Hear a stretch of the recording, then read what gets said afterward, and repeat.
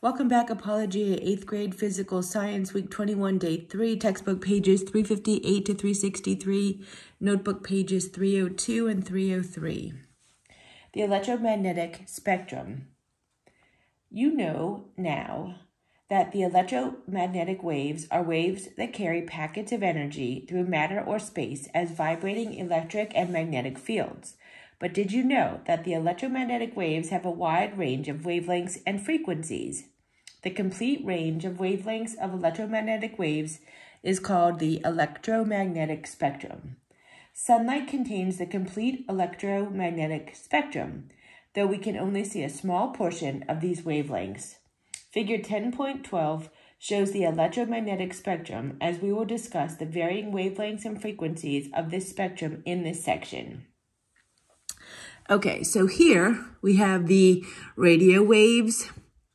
Here we have the microwaves, the infrared.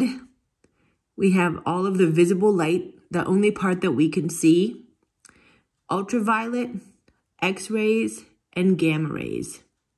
All right, the um, longest wavelength, or I should say the wavelength increases as it goes this way. So radio waves have the longest wavelength. And again, since we know that wavelength and frequency are inversely proportional, the highest frequency is over here. So gamma rays will have the highest frequency. All right. Radio waves. The electromagnetic waves with the longest wavelengths are radio waves. The range of radio wave wavelengths can go from longer than a football field to as short as a football. These long wavelength, low frequency waves are used to transmit radio and television signals as well as allow you to talk on your cell phone. It might surprise you that the radio and television signals that are captured with an antenna, a digital satellite dish, a digital cable box, or even just your smartphone are just electromagnetic waves. You can't see these waves, of course, but without them, you would never hear a radio or watch a television program. When you tune a radio or change the channel on the television, you are telling the electronics in the device to look for a particular frequency, thus a particular wavelength. Electromagnetic waves that are of that frequency that strike the antenna are then picked up by the electronic circuitry in the device.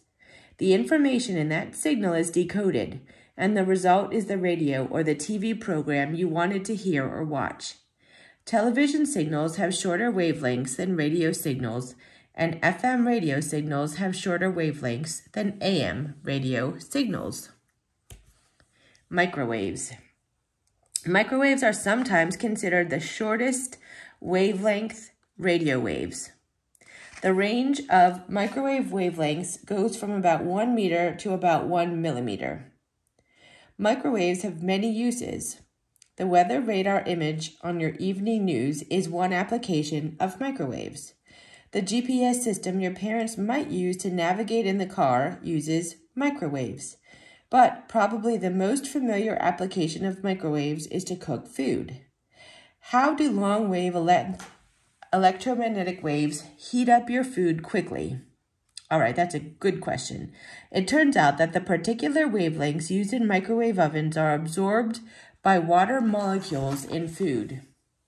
When the waves are absorbed, the water molecules spin due to the energy absorbed with the waves. When they start spinning, there is a lot of friction between them and the other molecules in the food, and then that generates heat. That heat cooks your food. A microwave oven heats food quickly compared to a conventional oven because in a conventional oven, the heat must travel into the food being cooked. As a result, the food must get hot on the outside before it can get hot on the inside. In a microwave oven, the microwaves are causing the water molecules throughout the food to spin. Thus, the food, the food is exposed to heat all over right away. That makes the food cook a lot more quickly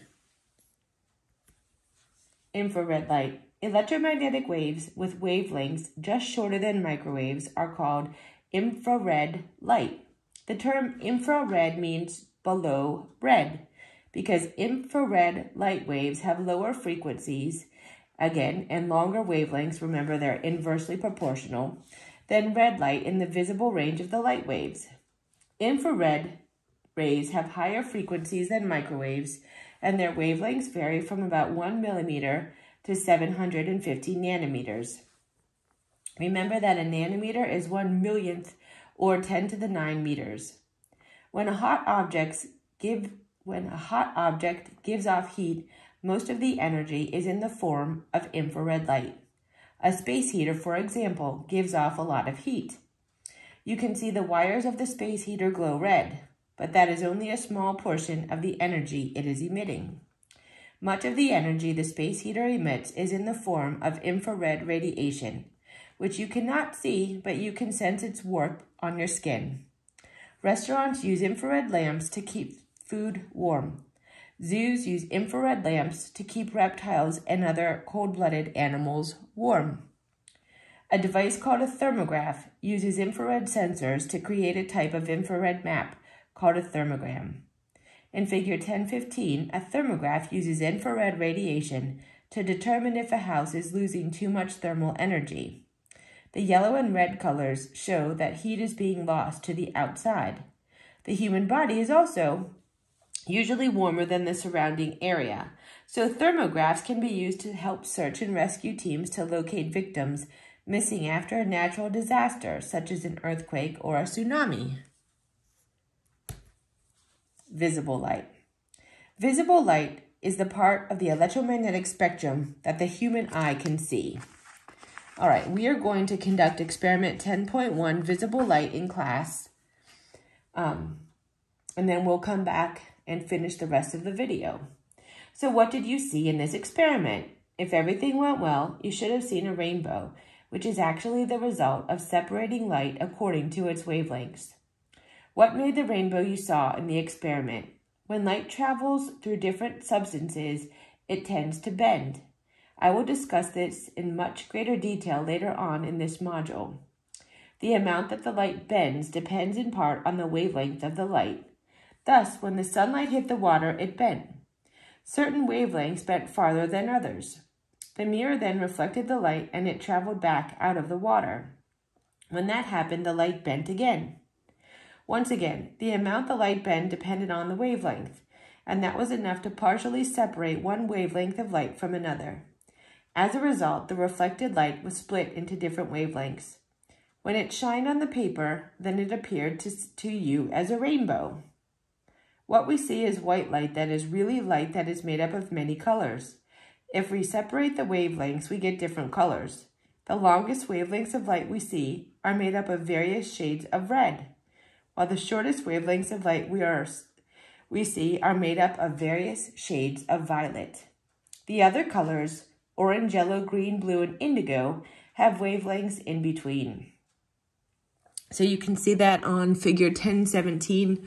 The longest um, wavelengths that we can see are going to be the reds, and the shortest are going to be the violets. Although you needn't memorize the wavelength of each color, you do need to memorize the relative size of the wavelengths in question. In other words, you need to know that red lights have the longest wavelength, orange light has a shorter wavelength, yellow has an even shorter, and so on. This is easy to do if you think about the color as a single name. If you start with the color that corresponds to the longest wavelength, red, and you put the first letter of each color together, you come up with the man's name, Roy G. Biv. So if you think of Roy G. Biv, every time you think of the colors of visible light, you will always know that red light has the longest wavelength, violet has the shortest. And you will also know the order of all the colors in between. The wavelengths of visible light are quite small. They range in size from about one hundredth of the thickness of a human hair to the length of a bacterium. Each wavelength of light corresponds to a specific frequency and a specific color. Obviously, we use visible light to see. Plants use different frequencies of visible light to photosynthesize. We use lights to read by at night and to keep from stumbling when it's dark. Red traffic lights tell us when to stop, and green traffic lights tell us when to go.